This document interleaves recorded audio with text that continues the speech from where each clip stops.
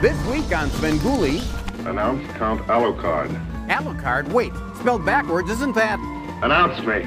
Oh, all right. It's Lon Chaney Jr. and the Son of Dracula on the next Svengoolie. Saturday at 8, 7 Central on MeTV.